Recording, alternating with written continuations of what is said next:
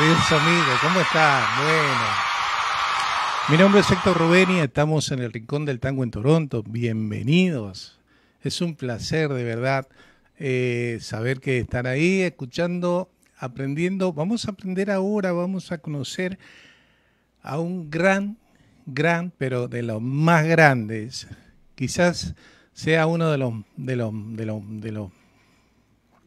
Hay algunos que dicen que es el mejor. Todo es una cuestión de gusto, como ustedes saben, ¿no? Así que mm, muy admirado por sus compañeros, por sus pares, muy, pero muy, pero muy admirado. ¿eh? Así que eh, es Carlos Di Sarli, Carlos Di Sarli, un amigo eh, que nació por allá por Bahía Blanca. Ahora les cuento, ¿eh? Así que bueno, bienvenidos. Estamos conversando de tango en el Rincón del Tango en Toronto. Sean bienvenidos. Espero que estén por allá, por, por allá por el sur, con un matecito, ahora que hace frío, ¿eh? Así que es como yo me los imagino. bueno, un placer, de verdad, un placer enorme Vamos a introducirnos en el tema de este gran artista, este gran compositor, este gran pianista, este gran director de orquesta que se llamó Carlos Di Saldi, Carlos Di Sarli, el señor del tango. ¿eh? No tenía todavía 35 años y ya le decían el señor del tango, fíjense, ¿eh? uno de los más grandes directores de, de, orquesta. Vamos a decir de él que vamos a empezar por lo mayor. Vamos a decir que su padre fue Miguel Di Sarli, que era italiano y que de su primer matrimonio tenía tres hijos, Ana, María y Antonio.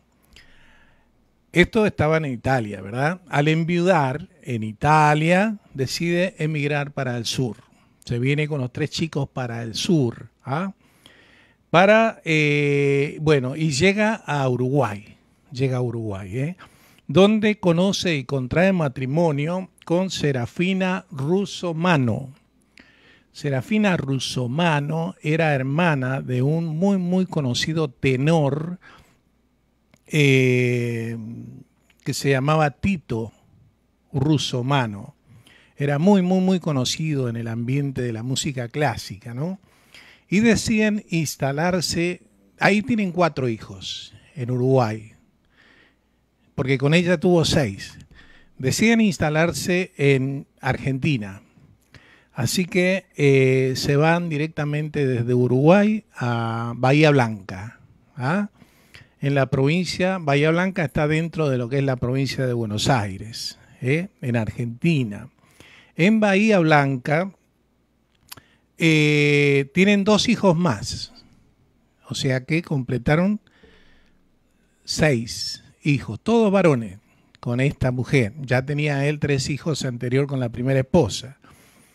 Y eh, estos se llamaban eh, los hijos con la señora se llamaban José, Miguel, Nicolás, Domingo, Cayetano y Cayetano nació en, Bahía Blanca, que posteriormente va a ser nuestro Carlos Di Saldi. Y Roque, ahí lo tenemos. Los dos últimos, eh, Cayetano y Roque, nacieron en Bahía. Bueno, vamos a decir que su padre tenía una armería. Ese era el negocio que él manejaba las armas. ¿eh? Así que, ok, ahora sí vamos a conocer y lo vamos a empezar al show. Vamos a conocer a Carlos Di Sarli y lo vamos a empezar como a él le gustaba empezar su show, ¿eh? con un tema con el que a él le eh, encantaba, no era el tema de él, era de era de, de Miguel Osés en lo que es la letra y de Jesús Ventura La Fuente. Entonces lo vamos a conocer con el tema que él abría los espectáculos de él. Se llamaba A la Gran Muñeca. A la Gran Muñeca y es un tema instrumental. Hoy vamos a tener dos o tres temas instrumentales porque eh, escuchar, escuchar la, la orquesta de Carlos Di Saldi era, es, un, es un espectáculo, es una sensación nueva, es una sensación muy íntima y diferente. Se dice que si tú escuchas un CD de, de Carlos Di Saldi, dice que no te puedes decidir por cuál es el mejor. Así que eh, estamos eh, en el Rincón del Tango en Toronto. Si me atabas a tu piel con ramo de besos y escuchábamos caer sobre los pechos de sí. Lluvias de otoño en abril. Tengo esa nostalgia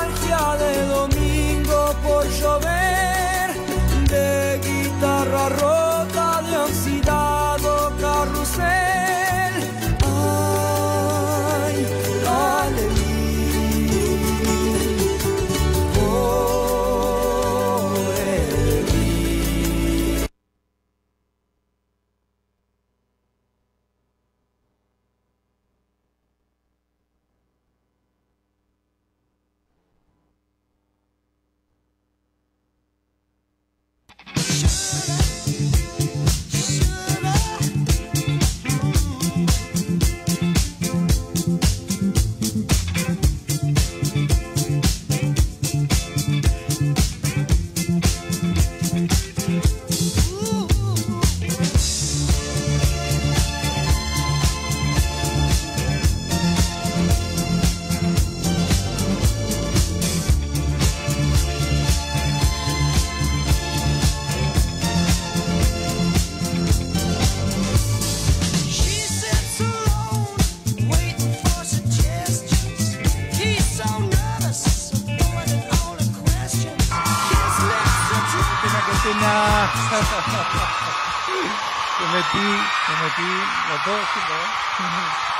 Cometí un error imperdonable que no me lo voy a perdonar en mi vida, me voy a perdonar.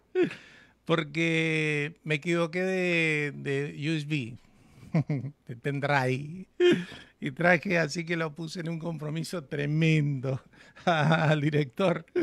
Así que, bueno, no importa. Lo mismo vamos a hacer el programa, ¿ok? Lo mismo vamos a seguir conversando y cuando el, el, señor director está buscando está buscando los temas, pero lo vamos a ir este lo vamos a ir a llevar, lo vamos vamos a conocer de todos modos a nuestro Carly Dizalde y sí vamos a escuchar algunos temas de él, sí.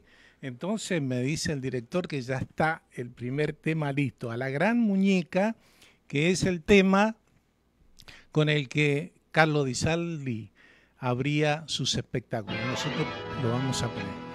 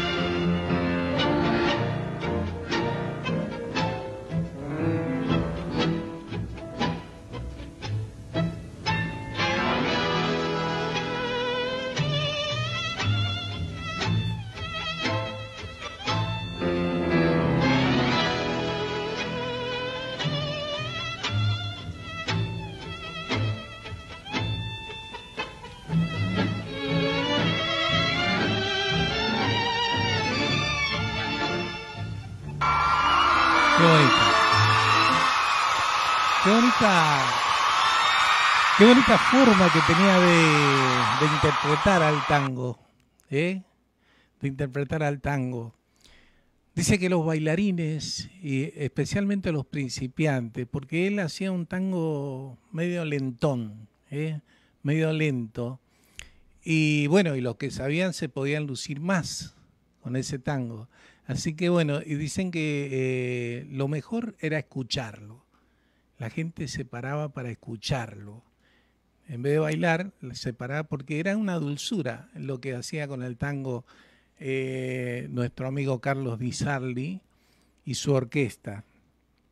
Bueno, habíamos llegado hasta que les dije que su padre tenía una armería, ese era su negocio en Italia y bueno, y siempre anduvo con, con ese negocio. Ok, eh, vamos a decir que eh, Carlos Di Sarli eh, nació en Bahía Blanca el 7 de enero de 1903. Su nombre era Cayetano Di Sarli, pero se lo conoció artísticamente y desde muy chico como Carlos Di Sarli. Fue director de orquesta, compositor y un destacado pianista argentino, llegando a ser considerado como una de las figuras más importantes del tango. Eh, se casó y tuvo dos hijas. Carlos estudiaba en el colegio Don Bosco, era casado, quise decir, no se casó todavía porque era muy niño Carlos estudiaba en el Colegio Don Bosco de Bahía Blanca, pero la música ya estaba eh, presente en lo que era su familia. Viste que les dije que él era de los últimos chicos que habían nacido. Bueno, uno de los hermanos, Domingo, era profesor de música ya en, un, en el Conservatorio Williams.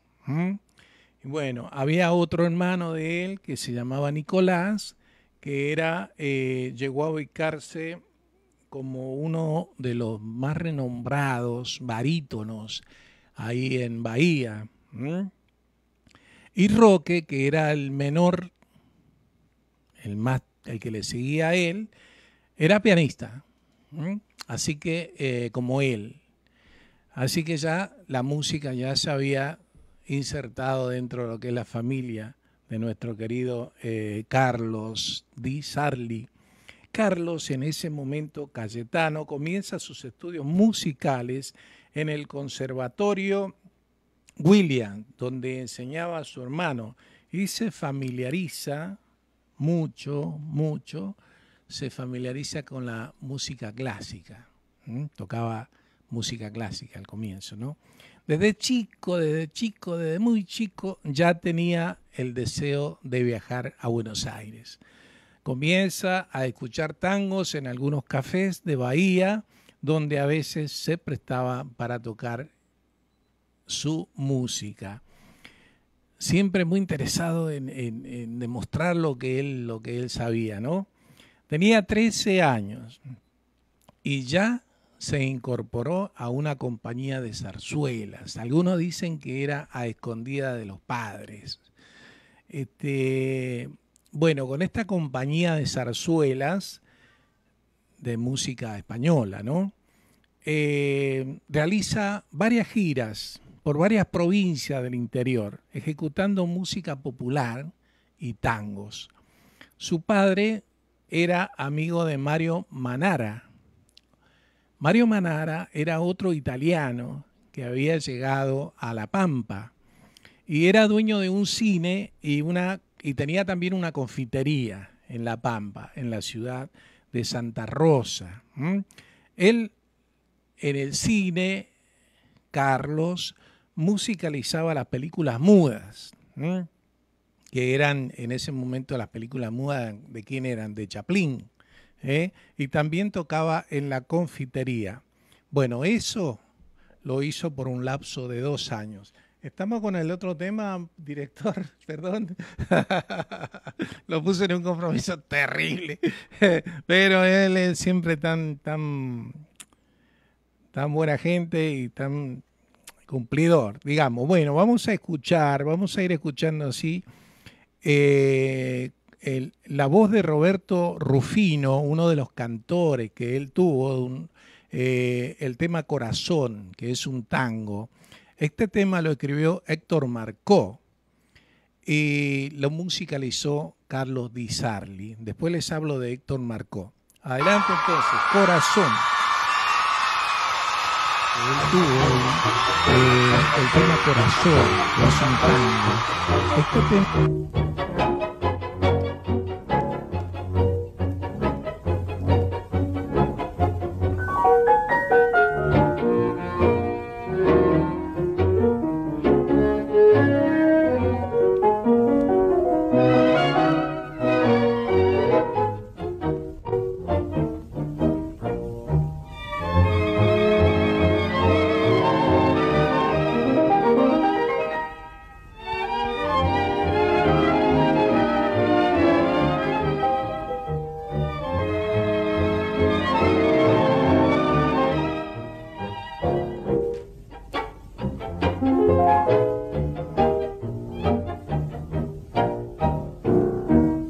me estás mintiendo corazón porque lloras si me ves que estoy muriendo de esta pena tu compás. Si sabes que ya la mía y otros brazos se entregó no desmayes todavía secotante como yo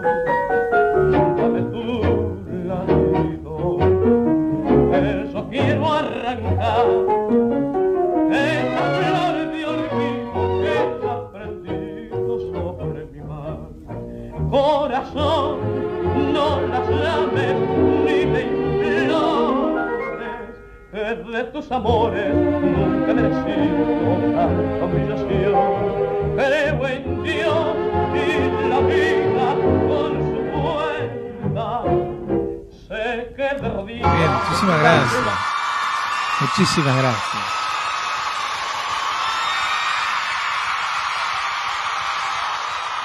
Una época por allá en los años, bueno, él tuvo su auge en todo lo que es eh, eh, la década del 40 y la del 50. ¿eh?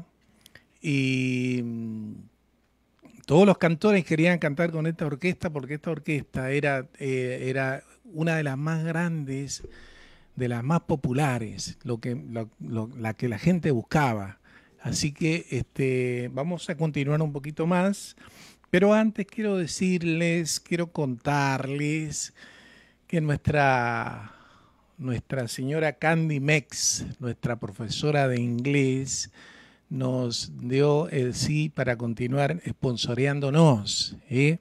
Así que eh, ella tiene un, un, método muy, muy, muy importante. La otra vez yo le comenté a ustedes lo que me había dicho un médico de cabecera que yo tenía, sí, viste, porque acá hay que tener médico, ¿no? Era eh, de República Dominicana, era grande, ya hace muchos años que, dejé de verlo, posiblemente ya haya fallecido, ¿no? Pero él, eh, eh, como yo ya creí que grande acá, él siempre me decía, Héctor, ¿estás hablando inglés? Y le digo, yo estoy estudiando. Bueno, o sea que no hablas, estás estudiando, no, estoy ahí. Y me dice, Héctor, ¿vos a dónde vivís? Y me dice, y yo le dije, acá. Y me dice, no, no, vos no vivís acá. Hasta que no hables el idioma que se habla acá, vos no vivís acá, vos no no, porque no te podés insertar en lo que es esta sociedad sino si, si, si no hablas el idioma que hablan ellos. Entonces fue una, una un, realmente fue este, muy importante para mí que una persona mayor, eh, que un profesional me hablara y que me induciera con toda la buena voluntad eh, para, para aprender inglés. Es lo que yo quiero hacer también contigo. ¿eh? Si vives acá en Toronto, eh, no desaproveche la oportunidad que te da la profesora eh, Candy, Candy Mex. Te voy a pasar el... Eh, ella está acá muy cerca, está en el área de Lawrence y Kill. Y te voy a pasar el teléfono para que la llames si es posible, mándale un mensaje, porque ella por ahí, si la llamas, a lo mejor está ocupada y no te puede, eh, no te puede atender. Pero si con un mensaje la puedes, ella te lo contesta de inmediato. Te paso el número 437 980 4990 437 980 4990 y así de esta manera le damos bienvenida a la profesor a la profesora Candy Mex que tiene un método fantástico. Bueno, continuamos. Un gran saludo y un abrazo para Pedro Aveiro por habernos acompañado eh, el sábado y por haber este y porque nos está viendo, yo estoy viendo acá que nos está mirando el programa. un abrazo, un abrazo, Pedrito. Bueno, continuamos, continuamos con la. Eh, les había dicho que eh, estaba La Pampa, que estaba tocando en un cine, que musicalizaba las películas de Chaplin y que también tocaba en la confitería. Eso fue por un lapso de dos años. ¿eh? En 1919 regresa a Bahía Blanca y forma su primera orquesta. ¿eh? Regresa a Bahía Blanca y forma su primer orquesta. ¿Saben cuántos años tenía? 16 años. Un mago. ¿eh? Actuaron con esa orquesta en el Café Express y en el Café Moca y realizaron giras por La Pampa, Córdoba, Mendoza, San Juan y Salta. ¿eh? Pero esa actividad hace que tenga que abandonar sus estudios en el tercer año de la secundaria. También a los 16 años, fíjense que no, no todo es rosa en esta vida, ¿eh? también a los 16 años la familia organiza un picnic, ¿eh? una salida seguramente un día sábado, para hacerle la despedida de soltero a uno de sus hermanos. ¿eh? Y a él le piden que, que, vaya a la armería, porque ahí había una canasta con mercaderías que tenían que llevar. Así que le piden que le vaya a buscar. Y en esa armería había un empleado que estaba limpiando un arma y que no se había dado cuenta que el arma estaba cargada entonces se le dispara. Y menos mal que Carlos estaba a 15 metros. De todos modos, esa bala le pegó en la frente. ¿eh?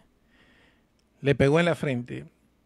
Y tuvo una intervención, quirúrgica que dejaría huellas para toda la vida.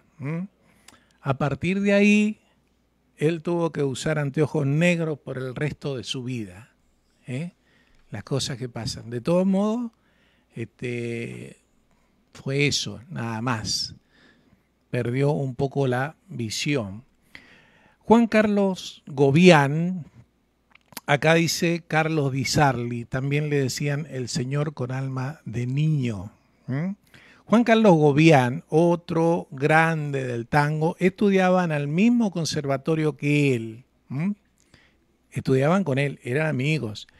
Y, y Gobián admiraba, porque le veía, ya le veía algo a Carlos Di Saldi, y, le, y lo empuja para que forme su primer sexteto y Carlos diría después, Carlos Tizarli diría después de esta situación que se presenta con Gobián, fue Gobián el que me hizo creer en mi música, declarándose inmediatamente como mi primer admirador.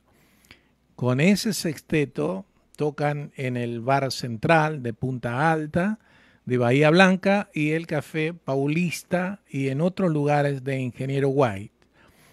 Che, estamos para el próximo. ¡Qué grande, qué grande, qué grande! Por Dios. Eh, vamos a escuchar eh, un tema instrumental de Carlos Di Sarli que se llama Bahía Blanca, que se lo hizo en homenaje a la tierra donde había nacido. Entonces, por Carlos Di Sarli y su orquesta típica, Bahía Blanca.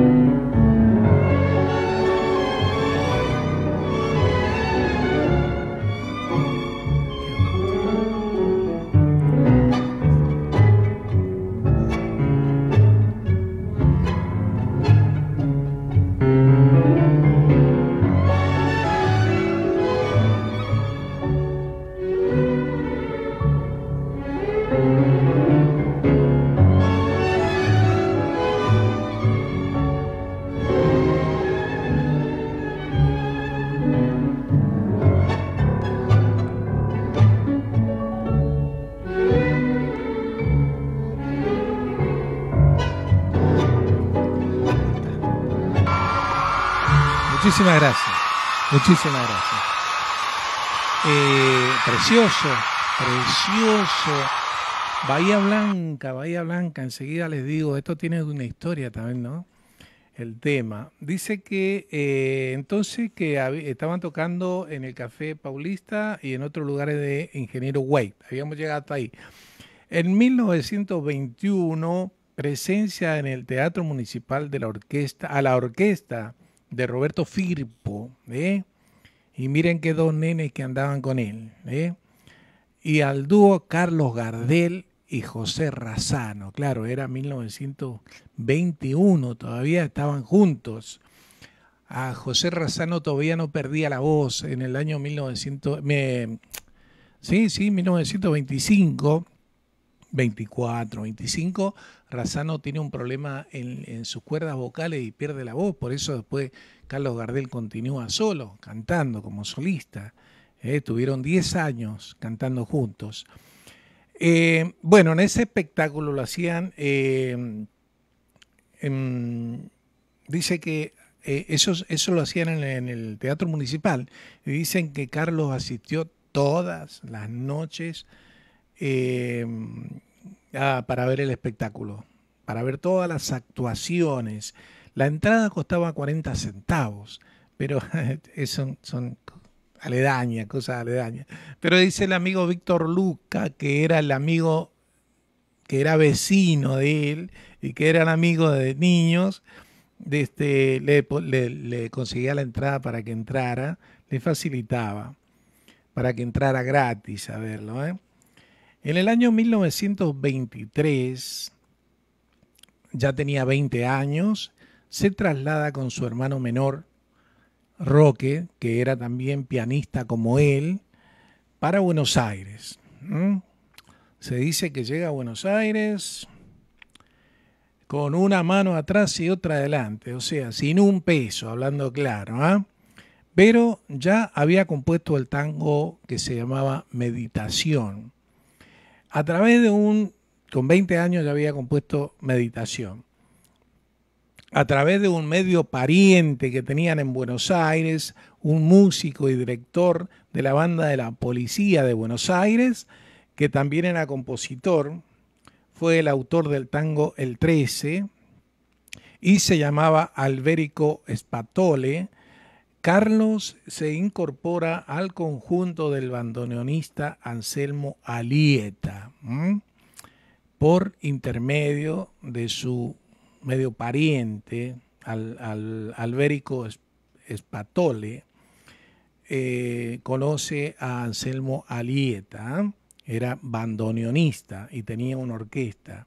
Entonces, en 1924, un año después, se incorpora a la orquesta de Juan Pedro Castillo, luego al trío de Alejandro Escarpiño, el autor de Canaro en París, eh, y después a un sexteto con el que trabajó en el cabaret Chantecler y acompañó también a Olinda Bozán en grabaciones para el sello Electra. Muchísimo trabajo, muchísimo trabajo y muy buenas relaciones. Cayó muy bien parado, cayó donde, donde había gente que realmente interesante para aprender y para crecer. En 1926, por recomendación del violinista José Pécora, se incorporó a la orquesta del gran Osvaldo Fresedo, quien sería la persona que influiría en el estilo que finalmente elegiría eh, Carlos Di Sarli. Carlos Di Sarli le dedica un tema, le escribe un tema o sea, no le escribe, él, claro, le escribe, eh, musicaliza, crea, compone. La milonga, el milonguero viejo que se lo dedica a él por su gran admiración, por su amistad y en gratitud. Los invito a escucharlo. ¿eh? Milonguero viejo Ok, vamos a escuchar, dice el, director, que vamos a escuchar Fumando Espero. Después lo buscamos, eh, eh, que fue escrito por Félix Garzo y Juan eh, Villadomac lo musicalizó. Este tema lo grabó con Argentino Ledesma, que creo que fue el único tema que grabó con, eh, con Ledesma en el año 1956. Bueno, entonces Fumando Espero.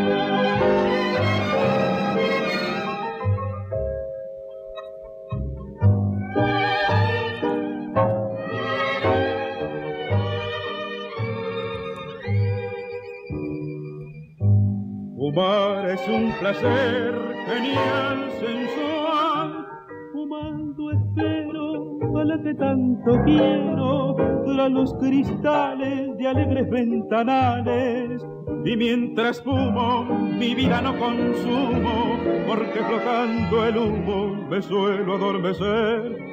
Tendido en mi sofá, soñar y amar, ver a mi amada feliz enamorada sentir sus labios besar con besos sabios y el de valero sentir con más deseos cuando sus ojos veo sedientos de pasión. Por eso estando mi bien en mi fumar una vez. Muchísimas gracias, muchísimas gracias. Bueno, vamos a continuar. Todos estos inconvenientes fue por culpa de que yo traje un, USB equivocado. ¿eh? Así que pido mil disculpas. Y agradezco acá al director que realmente eh, está trabajando para tratar de suplir eh, esta falsa.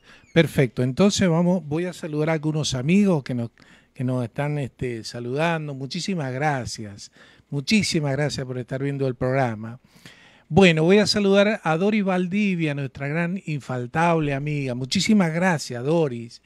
Para Olga Montivero, también de Búfalo. Para Jimmy Jiménez, un saludo, hermano, un, abrazo. Para Luz María, Luz María, una gran amiga de muchísimos años que yo tengo por acá. Para Renato Luis Reyes, muchísimas gracias por estar compartiendo el programa, de verdad siempre está presente, amigo, y, siempre alentándonos a que continuamos. Para Luciana López, un placer, Luciana, un placer, y espero que te guste el programa. Para Claudia Noles, muchísimas gracias por estar viendo el programa, espero que te guste, Claudia. Para Yolanda y Pedro de Uruguay, un placer enorme, chicos, un placer enorme. Me encanta Uruguay. Conozco todo Uruguay y fue un placer enorme. Así que gracias, gracias por estar ahí viendo el programa. Bueno, los invito a que escuchemos entonces el tema Milonguero Viejo, que fuera, que fuera compuesto musicalmente por Carlos Di Sarli, eh, eh, que le puso, eh, Enrique Carrera Sotelo le puso una música, pero ahora lo vamos a escuchar como instrumental, un pedacito para que tengamos idea de lo que era Milonguero Viejo.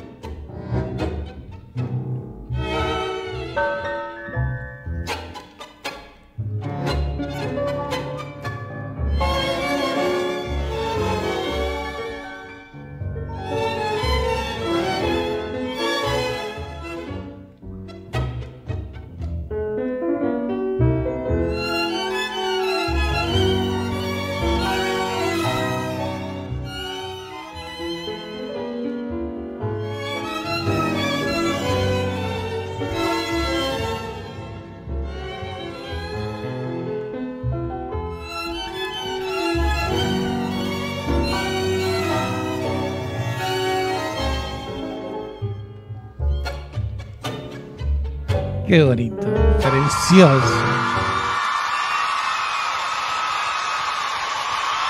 Ese tango, ese tango que tocaba Lizardi así como acariciando, ¿eh? que daban, eh, daban, daban, ganas de escucharlo, aparte daban ganas de bailarlo, así suavecito, precioso. Como habrán notado, las introducciones eh, de, los, de los temas, cuando hay algún cantante, son largas las introducciones, como buenas, porque eran los cantantes de orquesta, se tenía que aguantar eso, porque claro, la, era que había que, eran cantantes de la orquesta, no eran solistas, eran cantantes de la orquesta, entonces tenían que, la orquesta se tenía que destacar. Esa era la razón, ¿verdad? Así que bueno, continuamos rápidamente porque se nos va el tiempo. En 1926, por recomendación del violinista José Pécora, se incorporó a la orquesta del Gran Fresedo, esto lo, había dicho ya, ¿no? Y le dedica su tango milonguero viejo por su amistad, admiración y eh, agradecimiento. Entonces, Fresedo, Osvaldo Fresedo, se destaca porque siempre él frecuentó lugares de gente pudiente. Él no andaba por, el barrio, él no andaba este, en los clubes pobres. Él siempre trabajó en lugares donde se movía dinero, muy inteligente, muy inteligente. Con Fresedo, se eh, cuando está tocando con Fresedo, inauguran el tango, el Teatro Fénix. ¿Mm? Eh, en 1927, el compositor y violinista José Pécora lo convoca de nuevo para formar una orquesta junto a un grupo de músicos para cubrir un compromiso del pianista Humberto Canaro, que por cuestiones eh, personales no podía hacerlo, pero que estaba el compromiso. Y José Pécora lo nombra a Carlos Di Sarli como director de esa orquesta. José Pécora se encarga de, de, buscar a todos los músicos y formar una orquesta para cubrir ese, ese compromiso. Y entonces lo nombra a él como director de esa orquesta típica, reconociendo sus conocimientos musicales. Ya dirigía esa orquesta típica, ¿eh? Y tenía solamente 24 años. Con este conjunto actuó en Radio Cultural y grabó para la RCA Víctor, sello, con los cantantes Santiago Devin, Ernesto Famá y Fernando Díez. Entre noviembre de 1928 y el 14 de agosto de 1931 grabaron 48 temas, algunos eh, de Edgardo Donato, Antonio, eh, Antonio Rodeo y eh, Celedonio Flores y también de Eduardo Arolas. Eh, en 1930, en el Café Germinal de Buenos Aires, tuvo un incidente, por eso de que él cuando tenía 16 años, se acuerda de la bala ahí en la frente, lo obligó a usar lentes negros toda la vida. Entonces uno de los dueños de ese café germinal pensaba que él lo hacía eh, de caprichoso. ¿eh? Entonces tuvieron un incidente bastante eh, duro, entonces, y él decidió no volver a trabajar allí. Y se fue para Bahía Blanca, con toda la orquesta, los, músicos se acoplaron a él.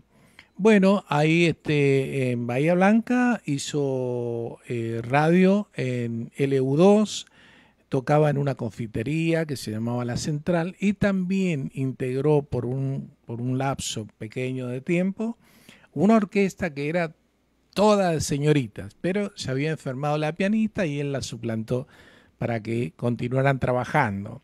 En 1932 se incorpora Antonio Rodríguez Lecende como su primer cantante estable. En 1934, por motivos no muy claros, él deja la orquesta y se va para Rosario, para Santa Fe. Esto le sucedió también en el año 1948, ¿eh? que de repente deja de tocar y vuelve recién en el año 1952. Se dice que por ahí tenía, eh, era un poquito enfermo, que por ahí se sentía un poco mal. En 1933, 36, volvamos un poquito para atrás, se lo convoca para hacer la música de la película El Loco Lindo. Loco Lindo se llamaba la película, ¿eh? Eh, con Argentina Solo Sono Film, que, eh, donde era el protagonista principal Luis Andrini. Por aquello, en aquel momento a Luis Andrini se lo consideraba el Chaplin argentino. Y eh, en esa película también trabajaba Sofía Bozán. El éxito logrado por esta película hizo que fuera una de las primeras películas argentinas Argentina vendidas al exterior.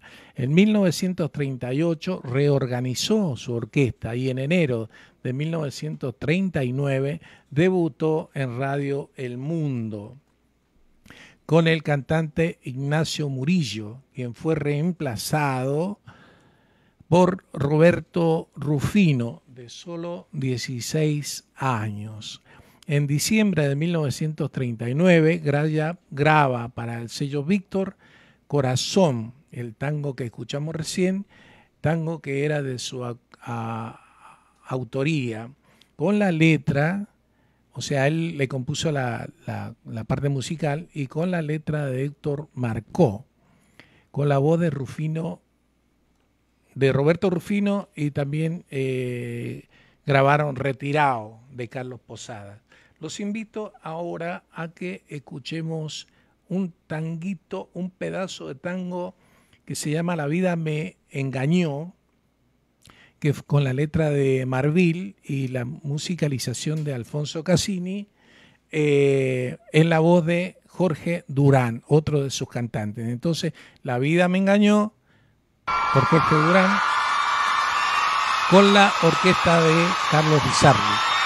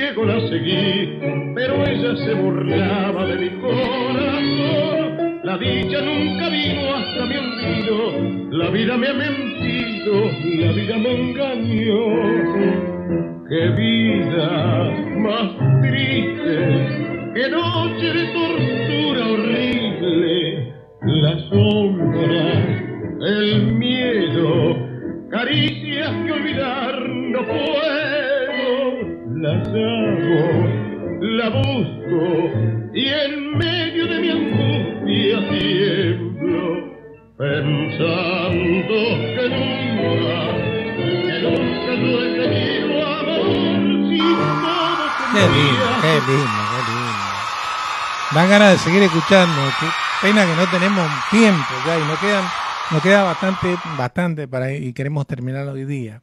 Qué linda voz que tenía Jorge Durán. Ah, Dios mío, Dios mío. Bueno, estamos que en el año 1939 graba con el señor Víctor Corazón, eh, tango que era de su autoría, y de Héctor Marcó. Héctor Marcó, que primero era cantante, yo enseguida les cuento. ¿eh? Eh, entonces, eh, en este tiempo es cuando él tenía 35 años por cumplir 36, cuando ya le ponen, nace para él el epíteto de, de el señor del tango, con 35 años. ¿eh? Había gente mucho mayor que él y a él le ponen el señor del tango. También ese año Carlos Di Sarli contrae matrimonio con... eh, no, no, no, no, no, no, no. Para, eh, en 1944 pasamos, hacemos un salto de 1939 hasta 1944, que es cuando fallece su papá, ¿eh? don Miguel Di Sarli, ¿se acuerdan? El que llegó a Uruguay y después se fue para Bahía Blanca, su papá, su papá. Pero también ese año eh, Carlos Di Sarli contrae matrimonio con María Elena Gómez, una chica de Buenos Aires, eh, y de esa unión nacen en Buenos Aires dos hijas, Dora y Cristina. Trabajó mucho con el letrista Héctor Marcó, muchísimo, muchísimo. Prácticamente se convirtió en el letrista de él.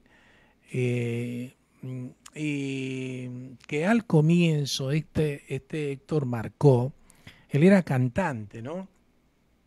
Pero perdió la voz. Entonces, eh, eh,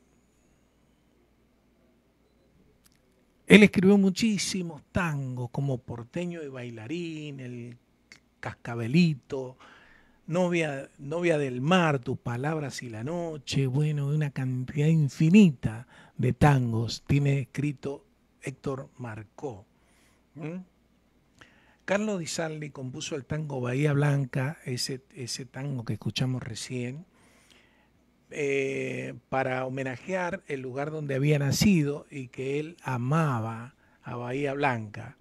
Pero él nunca permitió que se le pusiera letra.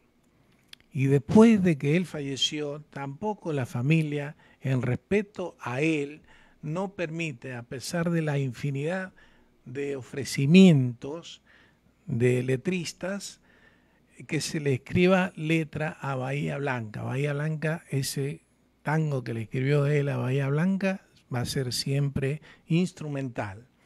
Entonces a Carlos le gustaba abrir su show con el tema La Gran Muñeca, que es el que escuchamos al principio. En los años 40, en la década del 40, hubieron cuatro orquestas que se destacaban, que fue una la de Osvaldo Pugliese, la otra la de Juan D'Arienzo, otra era que se destacaba bastante, era la de Aníbal Troilo, ¿no? Y la otra era la de Carlos Di Sarli. El tango que interpretaba Di Sarli atraía a los bailarines ¿eh? y era un tango que se disfrutaba escuchar, ya se lo dije. Su música no encajaba en los cánones de la Guardia Vieja, nada que ver, pero tampoco en, en los tangos de la Revolución de Cariana Nada que ver. Él tenía su propio estilo. Eh, al comienzo se notó mucho la influencia de Fresedo, de Ovaldo Fresedo, pero finalmente encontró su camino propio, eh, muy rico su, su, su, estilo en matices y sutilezas. Según Aníbal Troilo, eh, pero esto se lo cuento enseguida porque ahora vamos a escuchar vamos a escuchar otro tango que se llama Tú y el cielo, que también escribió Héctor Marcó, y en la voz de Alberto Podestá, otro de los cantantes. Y en la música lo musicalizó Mario Canaro. Entonces Tú y el cielo, ahora eh, bajo la orquesta de Carlos Di Sarli, Roberto Rufino. Tú y el cielo.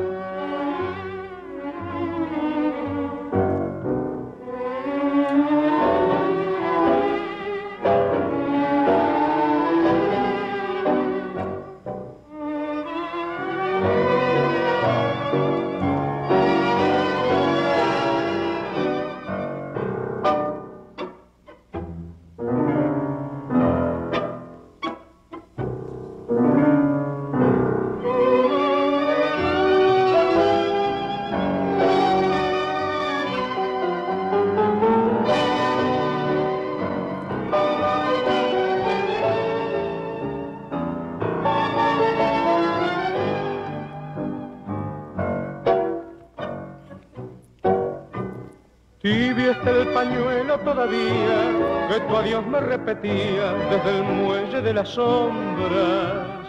Tibio, como en la tarde muere el sol, mi sol de nieve, sin esperanza y sin alondras.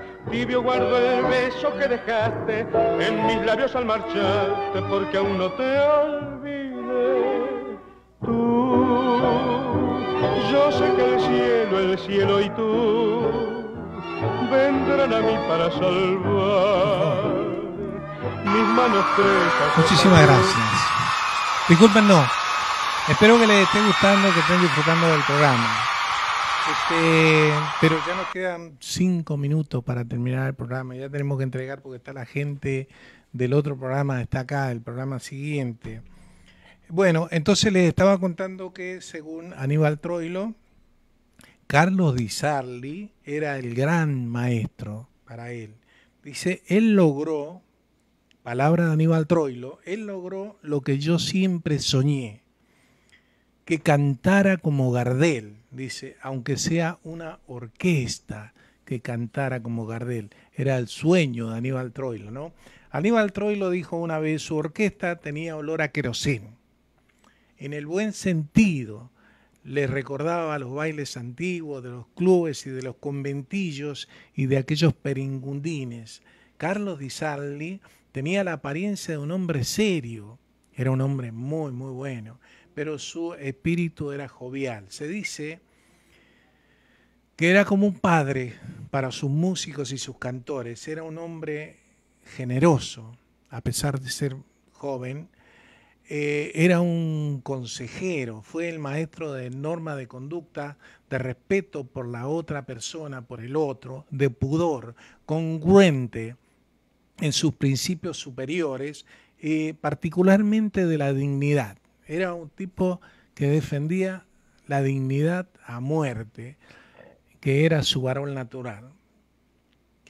Sus cantantes fueron, en realidad, Santiago de Vin, Ernesto Famá, Fernando Díaz, Antonio Rodríguez, Lesendé, Roberto Arrieta, Ignacio Murillo, Roberto Rufino, Agustín Volpe, Carlos Acuña, Alberto Podestá, Osvaldo Cabrera, Jorge Durán, Raúl Rosales, Osvaldo Cordó, eh, Oscar Serpa, Mario Pomar, Argentino Ledesma, eh, Rodolfo Galé, Rodolfo Roberto Florio, Jorge Durán y Horacio Cáceres.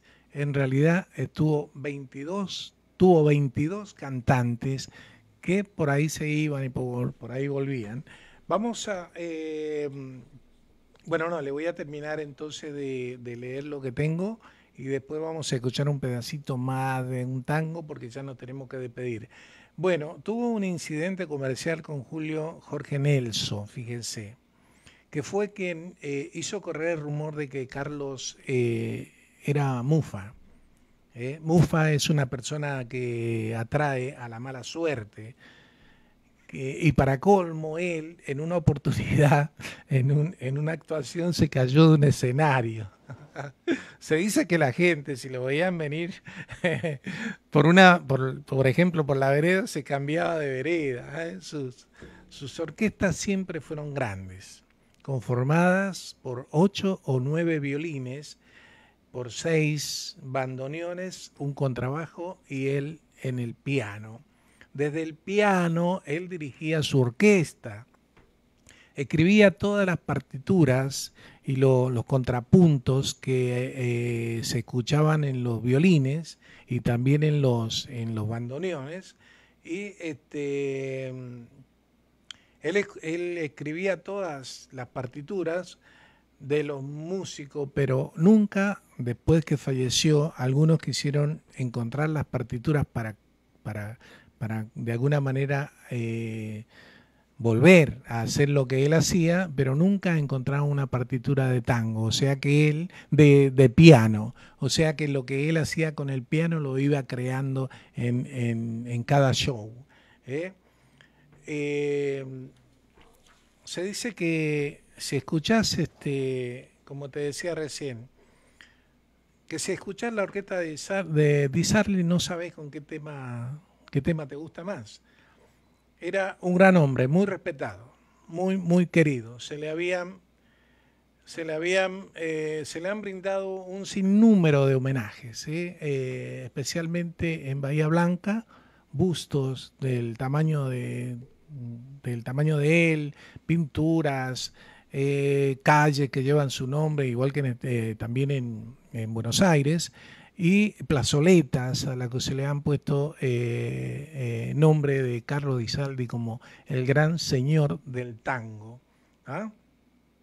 Entonces, este, su nombre es uno de los más grandes que engalanan la galería del tango.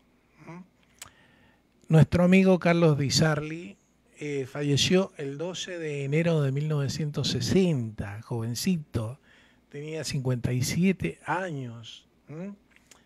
Bueno, a queridos amigos, hoy conocimos un poquito más de tango, conocimos a un eh, director de orquesta que nació en Bahía Blanca y que se llamó Carlos Di Sarli. Nos vamos a despedir con un último, un pedacito de último tema.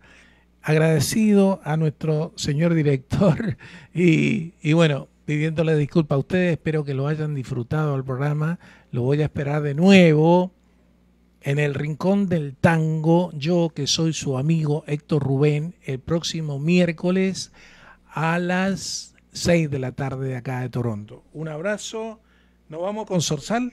Listo, Sorsal es una milonga escrita por Dorita Zárate y lo vamos a escuchar en la voz de Roberto Rufino.